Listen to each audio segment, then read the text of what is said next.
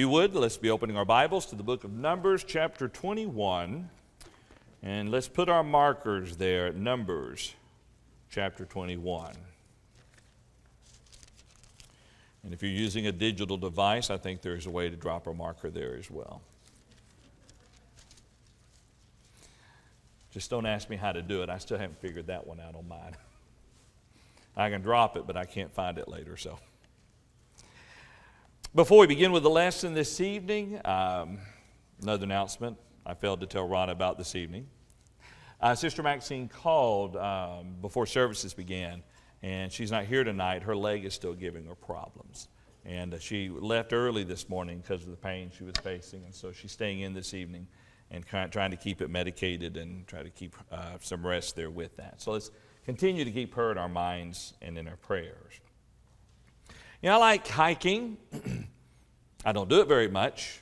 It's probably been seven, eight, nine, ten years since I've been hiking. And my extent of hiking is walking on a trail through some woods, maybe up a not too steep mountain, but it's still in the great outdoors. And I've even been camping before.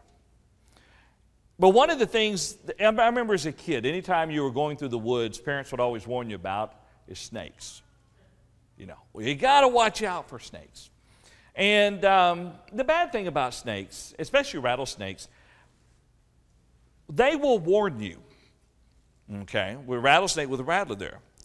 The problem is, quite oftentimes, we get upon them before we realize what's going on. And then we get bit. Now, I remember, all, especially when you, were, uh, when you were going through school and everything, and, and uh, Cub Scouts type things, that always tell you to wear long jeans and maybe even boots. You know, so if they did strike, you would be possibly okay. So we're taught to avoid snake bites. We're taught to avoid snakes. We're told to be very careful when we're going out into the wild. The children of Israel, though, had firsthand experience of snake bites. And not just your average old garden snake or, or a ribbon snake or king snake, but a very venomous poisonous serpent. And we find this story in Numbers 21. I decided this evening to try to figure out what would be a really just a good title for the lesson to make it very simple. We're going to talk about how to avoid snake bites. How to avoid snake bites. You got to do it from time to time, throw a catchy title out there, I guess. But we learn a lot from this particular text. Let's begin reading there again in Numbers chapter 21 what, what is amazing about this, it, and it shows the yo yo effect of the children of Israel um, in the relationship with God. In the first three verses there, they had faced a conflict with king of Arad, the Canaanite. And they said to the Lord, this is the Israelites talking in verse 2 of Numbers 21. They said, If you will indeed deliver this people into my hand, then I will utterly destroy their cities. And the Lord listened to the voice of Israel and delivered up the Canaanites. And they utterly destroyed them in their cities. So the name of that place was called Hormah. Hormah. So here we have them saying, If you will deliver us, we will destroy the cities. And so the Lord did. So they leave this location and they travel on to another area in verse 4. They, they journeyed from Mount Hor by the way of the Red Sea to go to the land of Edom. And the soul of the people became very discouraged on the way. Now, us sitting here in a nice, comfortable building, and we have our nice homes and our cars to drive in and so forth, it's hard to imagine what they were really going through. Imagine living in heat, living out of tents. You've been roaming in the desert in the wilderness, always having to look for water, always eating manna every day, same thing, same thing every day. This was their life. And so they're now being moved again and they go to another area and they become discouraged in verse 4. So, verse 5 the people spoke against God and against Moses. Why have you brought us up out of Egypt to die in the wilderness? For there is no food and no water, and our soul loathes this worthless bread. So the Lord sent fiery serpents among the people, and they bit the people, and many of the people of Israel died. Therefore the people came to Moses and said, We have sinned against you. We have sinned. against you. Let me read that. I've skipped a whole line. We've sinned, for we have spoken against the Lord and against you. Pray to the Lord that he takes away the serpents from us. So Moses prayed for the people. And the Lord said to Moses, Make a fiery serpent and set it on a pole, and it shall be that everyone who is bitten, when he looks at it, shall live. So Moses made a bronze serpent, put it on a pole, and set it, and so it was. If a serpent had bitten anyone, when he, lived, when he looked at the bronze serpent, he lived. So here they are. They're in the wilderness, and they're complaining against God. If you want to avoid the snake bite, and if they had wanted to avoid what came upon them, the first thing they needed to have done was trust the Lord. That was the problem.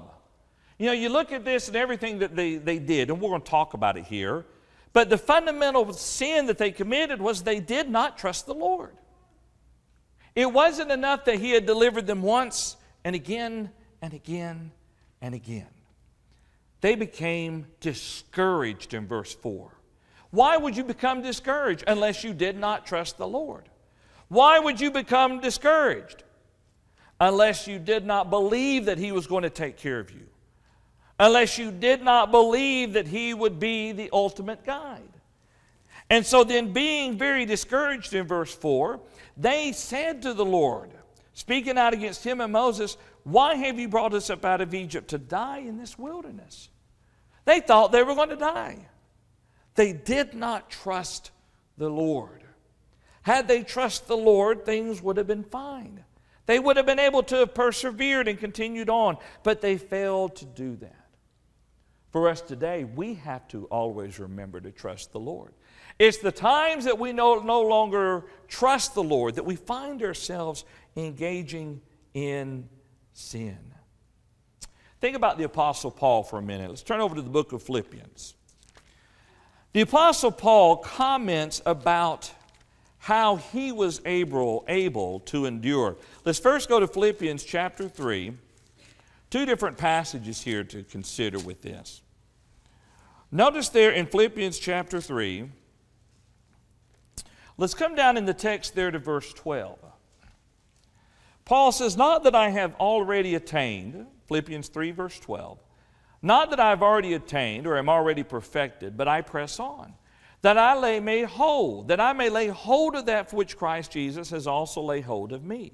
He says, Brethren, I do not count myself to have apprehended, but one thing I do, forgetting those things which are behind and reaching forward to those things which are ahead. He says, I press toward the goal for the prize of the upward call of God in Christ Jesus. They should have pressed on while in the wilderness continued to walk, continued to follow the Lord. They were wandering in the wilderness because of their sin. At least they could have offered some measure of repentance and continued to follow the Lord. Verse 15, therefore let us, as many as are mature, have this mind. And if anything you think otherwise, God will reveal even this to you. Nevertheless, verse 16, to the degree that we have already obtained, let us walk by the same rule. Let us be of the same mind. We need to trust in God. We need to follow him. Even if we commit some sort of horrendous sin that brings about years of consequence upon us here on this earth, we still follow him. We still persevere. We do not fail. We do not walk away from our Lord. When we look at the life of the Apostle Paul, we find an individual who always found strength within God. Notice in chapter 4 of Philippians, and let's start in verse 10. Philippians chapter 4, verse 10. Paul writes, But I rejoiced in the Lord greatly that now at your last care for me has flourished again, though, the, though you surely did care, but you lacked opportunity. Not that I speak in regard to need, for I have learned in whatever state I am to be content.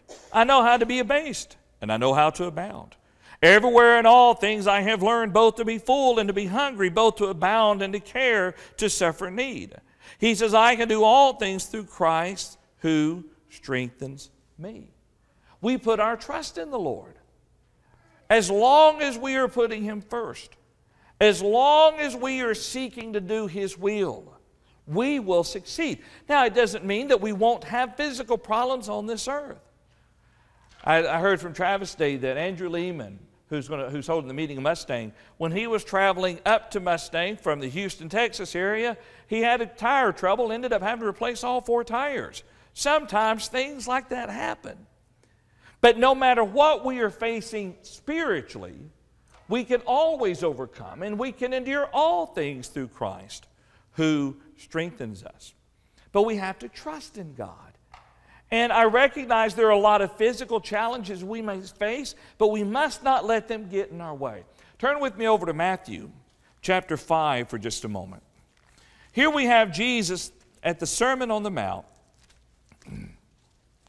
I said chapter 5, it's actually chapter 6 where we need to be. And notice there, beginning in verse 25, there's a reason why he tells the people not to worry about the physical things. He says in verse 25 of Matthew chapter 6, he says, Therefore I say to you, do not worry about your life, what you will eat or what you will drink, nor about your body, what you will put on. Is not life more than food, and the body more than clothing?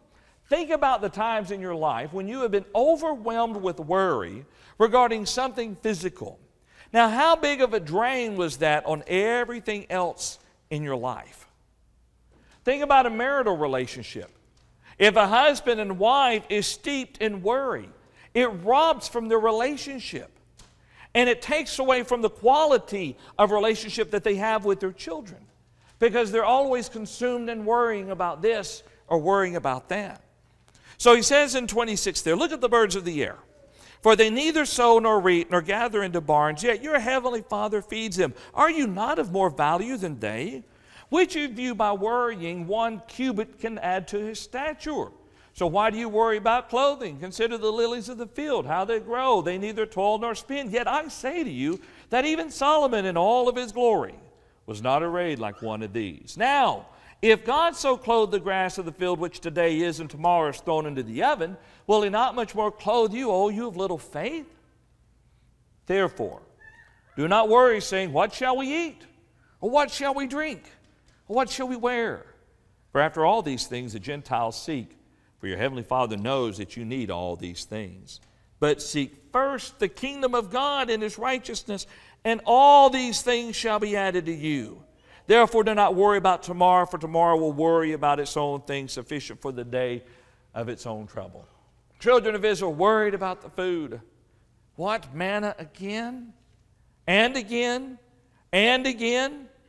There's no water today. When is God going to? It reminds me of a, of, of a child. Sometimes a young child will get something on their mind and they just won't let it go. You, you, they, it's like they, they've been in the car for, for 10 days and you've not bought them a drink, and it's only been 30 minutes. You know, this is the way they were. Very childish in their behavior. If they had simply said, you know what, we messed up horribly, and what I'm re- referencing is when they followed the poor advice of the ten spies and were too cowardly to take the land. That's why they were roaming in the wilderness. If they had said, All right, we messed up, our generation did, let's follow God till the day that we die so our children will be prepared, then they would have stayed, they never would have worried a day about anything. And so he's telling us here not to worry. Let us trust in God. It may not be the greatest of food that we want, but we will be fed. It may not be the nicest of clothing that we have, but we will be clothed. It may not be the largest of dwelling places, but it, we will have a place to live. As long as we seek first the kingdom of God and his righteousness, and all these things will be added unto us. Let us trust him. And let us trust him to remember our sins and to forget those things that we have done if we repent. This was the promise found over in Joel or Jeremiah 31, beginning in verse 31, but we're going to Hebrews.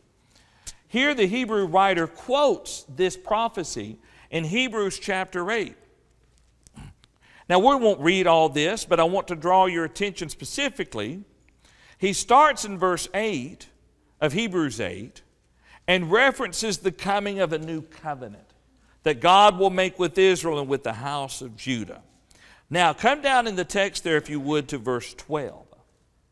Of this new covenant, he says, For I will be merciful to their unrighteousness, and their sins and the lawless deeds I will remember no more. I think sometimes the troubles that we face is we maybe don't really trust that God will forgive us or that God does forgive us. Sometimes we may do something and we end up not forgiving ourselves. And, and I got to admit, that's part of overcoming guilt. All right, if you've been forgiven of something by God, then you need to forgive yourself. Oftentimes we don't, and, and, and we, we feel really bad about it, and, and we need to. Do fruits worthy of repentance. We'll talk about that later in the lesson. And trust God to forgive us. No matter what we've done within the past. I wonder if the Apostle Paul ever laid in bed at night thinking, I can't go on. I'm not worthy enough to go on because of all the things that I've done. Now, he kept himself in proper humble spirit because he knew the things that he had done, but he kept going because he knew that God had forgiven him of everything that he had done. But we have to trust God. We have to trust in him, to follow him, to rely upon him, and to know that he forgives. Had Israel trust God, they would not have been bitten by those serpents that day. Step number two, if we want to avoid snake bites, is don't rebel against God. It's that simple. Turn back to Numbers 21. We must not rebel against God. Observe there, if you would, in Numbers chapter 21, what the people said. Verse 4, we saw them being discouraged. Verse 5, the people spoke against God and against Moses. There you see rebellion. They're speaking against God, they're speaking against Moses. And so they said, Why have you brought us up out of Egypt to die in the wilderness? For there is no food and no water, for our soul loathes this worthless bread. Here we have the people not only trusting in God, they are accusing God of intentionally leading them to the wilderness to die in the wilderness. And truly, the New Testament writer tells us that their bodies were scattered throughout the wilderness. It makes you wonder if you would have walked the same track about a year or two later that they had, you know, once they finally got to the land of Canaan, how many tombstones, how many grave sites would you find? of the thousands of people that had to die in the wilderness. Someone said, How do you get thousands of, of people dying in the wilderness? Over, that we had over 600,000 men on foot when they left Egypt. 600,000. Not counting women and children. And then just a handful, maybe just a, within a couple of years, if even that long, God says, okay, you're going to roam in the wilderness for 40 years until everybody who, when they came out of Egypt, who is 20 and older dies. We're not talking about 400, 500. We're talking about thousands of people. Their bodies scattered throughout the wilderness because of rebellion against God. Well, this is what we're looking at here. These same people, they spoke out against God. They say that you intentionally brought us into this land to die in the wilderness. And, and not only that, we got to have manna, this worthless, bread. Talk about a rebellious people. And so, as a result of that, God dealt with their rebellion. But before we look at that, I want to, I want to share with you Psalms for just a moment. David, many years later, looks back on this event and uses it as an opportunity to remind the children of Israel why they should not rebel against the Lord. This is Psalm 78. And there are two verses specifically here in Psalms chapter 78. And, and the whole context here, we're going to 23 in just a second here, but the whole context of this is talking about God's kindness to Israel, despite the, the time and time again of rebellion. Uh, I'll give you specifically, and, and we are going to 23 here in just a moment. But notice there with me in verse 8 or verse 7 that they may set their hope in God and not forget his works of God, but keep his commandments, and may not be like their fathers, a stubborn and rebellious generation, a generation that did not set its heart aright and whose spirit was not faithful to God. David reminds him that God provided for these people. Now, verse 23 Yet he had commanded the clouds above and opened the doors of heaven and had rained down manna on them to eat and given them of the bread of heaven. Think about something they didn't have to do. they didn't have to till the ground. Think about it. During the 40 years in the wilderness, how many men, I wonder, took a, took a plow to the ground to sow seed? They were wanderers in the wilderness. How many of them had to go out and go hunting? And had to bring home game to feed their families. They didn't have to work for their food other than going to collect it every day. But it still wasn't enough. They griped, they complained, they moaned, and they groaned. Now, verse 40 of Psalm 78 How often they provoked him in the wilderness and grieved him in the desert. Song that says, In the desert of sorrow and sin. This was the people of Israel.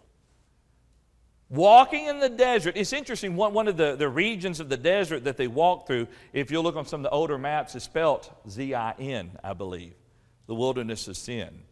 Not because they sinned, it's what it was actually called there. But how poetic is that?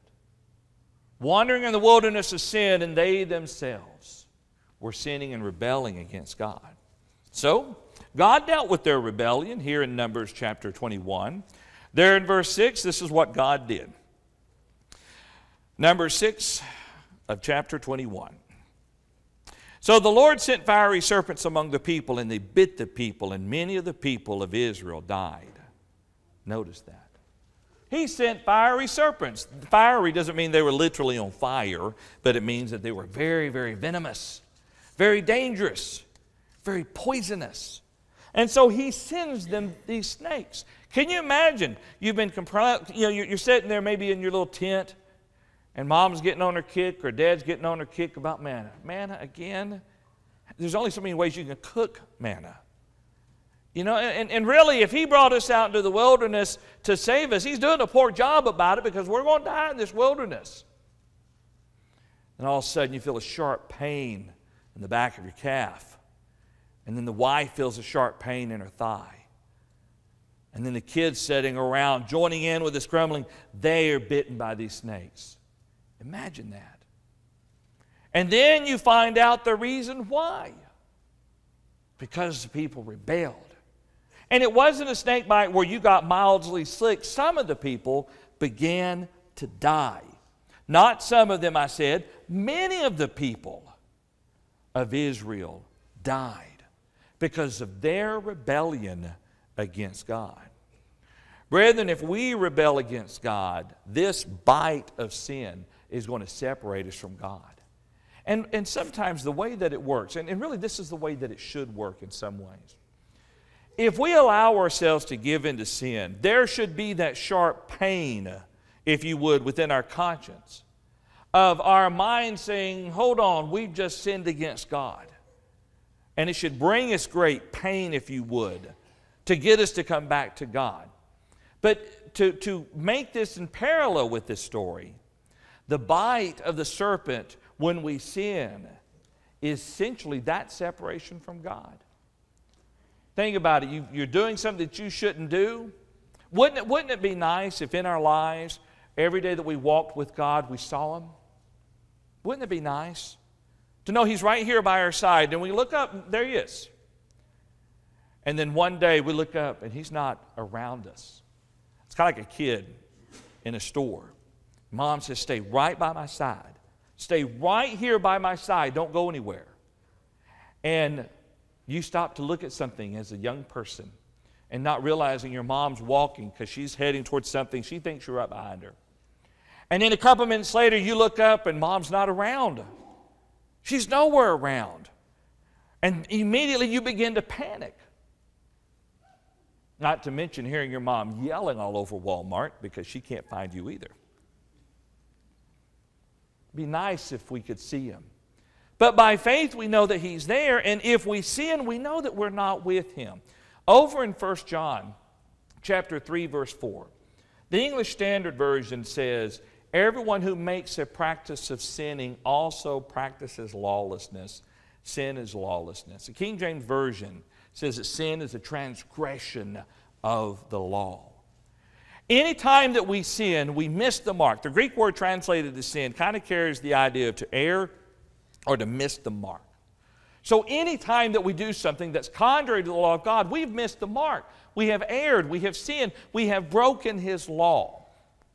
And as a result, we are separated from Him. James talks about this in James chapter 1, verses 13 through 15, as sin bringing forth a type of death. And we'll talk about that. Turn over to James chapter 1 for just a moment, beginning there in verse 13. James writes, Let no one say when he is tempted, I am tempted by God. For God cannot be tempted by evil, nor does he himself tempt anyone. But each one is tempted when he is drawn away by his own desires and enticed. Then, when desire has conceived, it gives birth to sin, and sin, when it is full grown, brings forth death. Now, I would suggest this death is spiritual separation from God. Because if we allow a temptation to yield sin within our life, we are no longer in fellowship with God. 1 John chapter 1, beginning of verse 5 and going down through 10 clarifies that. Romans chapter chapter 5, beginning of verse 12 and reading down through verse 19, clarifies that sin brings about this spiritual death, this death, this separation from God. And so, if we allow ourselves, like the Israelites, to rebel against God and to sin, then we find ourselves standing alone. And if we don't repent and turn away, then we will die in the wilderness of sin like the children of Israel did. Now, thankfully, just as there was a reconciliation between God and the children of Israel, pulling them back together again, if you have allowed yourself to walk in sin, or you are not a Christian and you're still living in sin, then there is likewise a reconciliation. Here's what you need to do. If by chance you are bitten by the snake of sin or that bite of sin, then do like the children of Israel and take the steps of repentance. Now, think about that for a moment. Take the steps of repentance. Have you ever considered in this story that we've been looking at that when they were told by God what to do, that it was actually a step of repentance. Now, I'll show you why I say that. Let's turn back now to Numbers chapter 21. Beginning there in verse 7. Therefore, the people came to Moses and said, We have sinned, for we have spoken against the Lord and against you. Pray to the Lord that he takes away the serpents from us. So Moses prayed for the people. Then the Lord said to Moses, Make a fiery serpent and set it on a pole. And it shall be that everyone who is bitten, when he looks at it, shall live. So Moses made a bronze serpent and put it on a pole. And so it was, if a serpent had bitten anyone, when he looked at the bronze serpent, he lived. Now, for a moment, let's kind of talk about the solution here. It's kind of an odd solution. The Lord told Moses to build, uh, to, to make a fiery serpent out of uh, bronze. Some commentators suggest that it was more like, more probably copper. And there was probably copper um, veins throughout that region there and would have been very plentiful. But they also suggest, and this is just pure speculation, that the copper color would have looked more red, more along the lines of, um, of, of, of repentance, and not so much repentance I've lost the word that I'm looking for, but remember back a couple chapters in Deuteronomy what they were told to do with the red heifer and the ashes of the red heifer in dealing with sin. So some suggest that there was a very intentional purpose to making this serpent uh, bronze or possibly red uh, if made out of copper. But anyway, it seems kind of odd. Here, Moses, I want you to, to, to shape this being told by a God who's against idolatry, bear in mind, okay? To make this serpent and put it up on a pole, and all they have to do is look at it. They have to crawl out of their tent, they have to go to where it's at, but they have to look at it. That's all they have to do. And they would be healed. This does not make one bit of sense unless we see one thing that was required by God of these people. There was one thing that He required of them at this point, and that was their trust.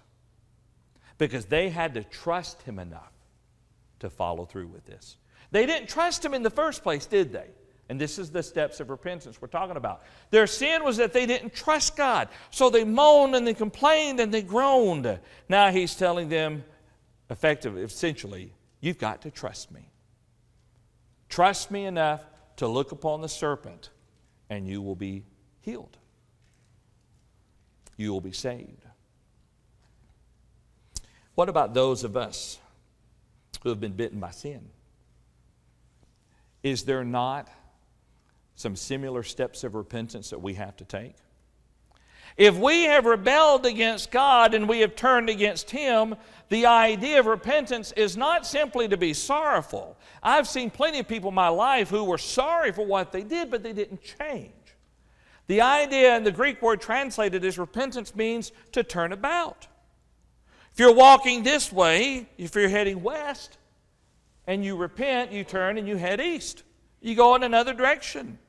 You go in the opposite direction. This is what he's telling them to do in looking up to the brazen serpent there, to trust in him. Well, for us today, there is someone that we have to look up to. Just as they had to look up to the, to the serpent up on the pole, we have to look up to someone today. Turn with me to John chapter 3 for just a moment. Turn with me to John chapter 3. Jesus, in his discussion with Nicodemus, you know, and someone may say, why did God choose this particular way of, of healing the Israelites? Either he did it so that it would be the perfect illustration for Jesus to use, or Jesus just knew to use it as a perfect illustration. And here's what I mean. In his discussion with Nicodemus there, let's come down in, the cha- in chapter 3 there. And let's start in verse 14. And as Moses lifted up the serpent in the wilderness, even so must the Son of Man be lifted up, that whoever believes in him should not perish, but have eternal life. For God so loved the world that he gave his only begotten Son, that whoever believes in him should not perish, but have everlasting life. Verse 17 For God did not send his Son into the world to condemn the world, but that the world through him might be saved. He who believes in him is not condemned, but he who does not believe is condemned already because he has not believed in the name of the only begotten Son of God. The people of Israel had to believe in God, trust in God enough to look upon the serpent. And in order to be saved, we have to believe enough to look up to Jesus Christ to come to Him, to believe in Him and what it was that He has done for us and what it was that He has taught for us to do. Now, since we've been talking about Christians and equating them, us, with children of Israel, and not rebelling against God and not walking in sin, what happens if we do sin? Do we still look up to Jesus? Well, absolutely. Turn with me, if you would, to 1 John chapter 2 for just a moment. 1 John chapter 2. John gives us great hope that when we face temptation, we can say no. Paul guarantees it in 1 Corinthians chapter 10, verse 13, where he tells us that God has given us a way of escape for every temptation that we face. But in 1 John chapter 2, John writes, My little children, these things I write to you so you may not sin. And if anyone sins, we have an advocate with the Father, Jesus Christ the righteous. Verse 2 And he himself is a propitiation for our sins, and not for ours only, but also for the whole world. Jesus is still our advocate. If we rebel against God, we can come back to God because Jesus is our advocate. He is our appe- the appeasement. That's what propitiation means. He is the appeasement. How can we possibly by ourselves hope to appease an almighty God? By ourselves, we cannot. But because of what Jesus did, we have that appeasement. We have that propitiation for our sins. We have an advocate with God. I think about Moses, who would oftentimes run interference, so to speak, when the children of Israel sinned. There was one occasion, the specific instance kind of slips my mind a little bit. But the people were complaining and groaning and moaning, and God says, Okay, here's a plague. And Moses told Aaron, Hurry, take the censer and run it in and stop it. And so he runs with the censer and he puts it there where it needs to be, and immediately the plague ceased. So there were times that Moses, in a manner of speaking, was the advocate for the people. But Jesus is our advocate because he has paid the price for our sins. And if we are willing to do as verse 9 of chapter 1 says, then God will forgive us. He says in 1 John 1, verse 9, if we confess our sins, He is faithful and just to forgive us our sins and to cleanse us from all unrighteousness. We have to be willing to confess our sins unto God. And through our advocate, the propitiation for our sins, ask Him to forgive us. And then we will be healed. We will be forgiven of our sins. For those who aren't Christians, what Jesus has done for you is He has become the perfect sacrifice. One more verse, and then we'll pull the lesson to a close. In Hebrews chapter 10, one more passage, I should say. Hebrews chapter 10. If you're not a Christian, consider what He has done for you, beginning in verse 5. Therefore, when he came into the world, he said, Sacrifice and offering you did not desire, but a body you have prepared for me. And burnt offerings and sacrifices for sin you had no pleasure. Then I said, Behold, I have come. In the volume of the book it is written of me, to do your will, O God. Previously saying, Sacrifice and offering, burnt offerings and offerings for sin, you did not desire, nor had pleasure in them, which are offered according to the law. Then he said, Behold, I have come to do your will, O God. He takes away the first, that he may establish the second. By that will we have been sanctified through the offering of the body of Jesus Christ once for all. And if you're not a Christian, you can be sanctified by the offering of Jesus Christ once for all.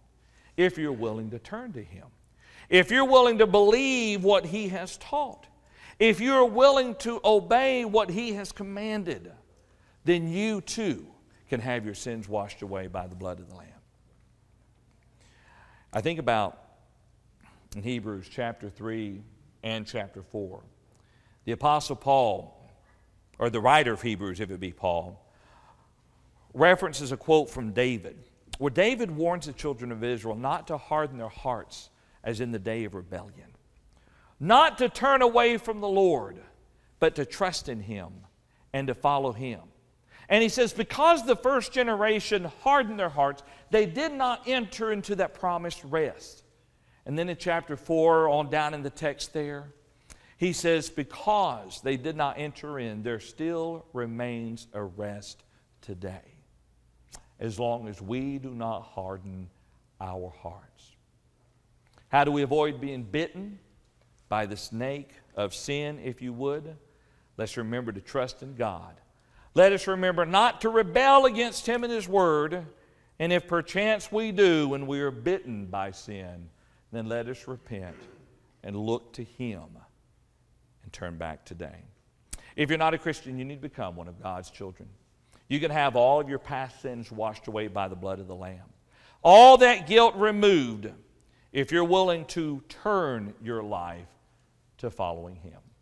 That's what repentance is. Peter told the people on the day of Pentecost in Acts chapter 2, verse 38 to repent and be baptized, every one of you, in the name of Jesus Christ for the remission of your sins. Turn away from your life of sin that you've been walking on when you rejected Jesus Christ and you crucified him, and now you follow him. Repent and be baptized for the remission of your sins. And then you be faithful unto death, and you'll make it to that promised rest. If you are a Christian, you've not been living faithfully. You're like the children of Israel. You've been bitten by the serpent of sin. And the only way to be forgiven, to be healed, if you would, is to look back to Jesus Christ. Turn back to Him in humble repentance and obedience, and your sins will be forgiven.